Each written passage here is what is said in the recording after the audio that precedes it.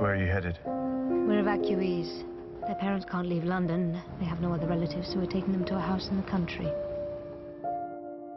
There it is, Eel Marsh House.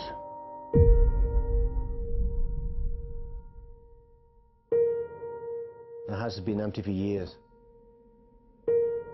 Now I lay me down to sleep. I pray the Lord my soul to keep. If I should die before I live, I pray the Lord my soul to take.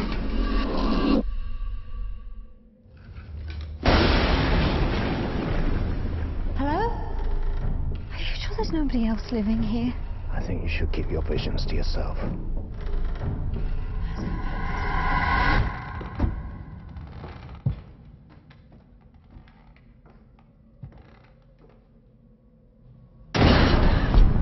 You believe me? I believe that something happened to you. Something terrible.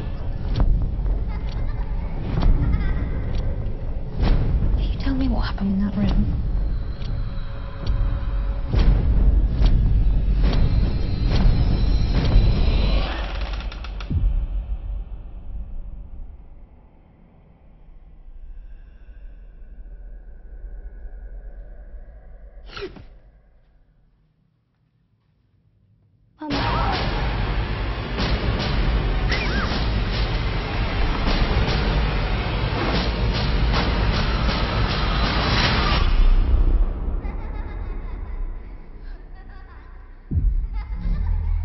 Close your eyes.